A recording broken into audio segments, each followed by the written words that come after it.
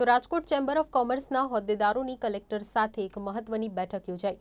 જીઆઈડીસીમાં આવેલા યુનિટોને શરૂ કરવા માટે તંત્ર દ્વારા પરમિશન આપવામાં આવી છે. ત્યારે વેપારીઓને અનેક પ્રશ્નોને લઈને મુશ્કેલી થાય છે. ત્યારે ચેમ્બર ઓફ કોમર્સના પ્રમુખે જણાવ્યું કે ફેક્ટરી શરૂ કરવી હોય તો બાહેંધરી આપવી અને કર્મચારીઓના નામની લિસ્ટ આપે એટલે એક દિવસમાં પરમિશન મળી જશે. તે ઉપરાંત વીપી વૈષ્ણવે જણાવ્યું કે મારું સ્પષ્ટ માનવું છે કે જંગલેશ્વર સિવાયના વિસ્તારમાં કેસ ન હોવાથી સ્ટેપ બાય સ્ટેપ યુનિટોને ખોલવા માટેની પરમિશન આપવી જોઈએ તેમજ ઇન્ડસ્ટ્રીઝને શરૂ કરવામાં આવે તે માટે ત્રણ વખત કલેક્ટરને રજૂઆત પણ કરવામાં આવી છે. સમગ્ર ઉદ્યોગકારોને પરમિશન કેમ લેવી, શું લેવી, કેવી રીતે લેવું, પોતાની ફેક્ટરી સુધી મેન પાવર એટલે કે માણસોને લઈ કેમ જવા, આની ઘણા સમયથી નાની મોટી વિસંગતા હતી.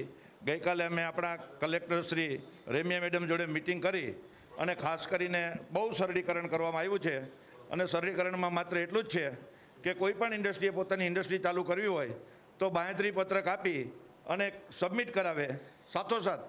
એની પોતાની ફેક્ટરી સુધી જવા માટે દસ જણા કે પંદર જણાનો મેન પાવરની જરૂરિયાત હોય, તો એ પણ એક બીજું નાનું એવું સરળ ફોર્મ આપ્યું છે. એની અંદર એ પંદર જણાના નામ અને વ્હીકલ નંબર લખી અને કલેક્ટરમાં સબમિટ કરાવે. સેમ ડે એમને પરમિશન મળી જાય. એટલે પોતાની ઇન્ડસ્ટ્રી પણ ચાલુ થઈ જાય અને મેન પાવરનો પણ પ્રશ્ન પૂરો થઈ જાય.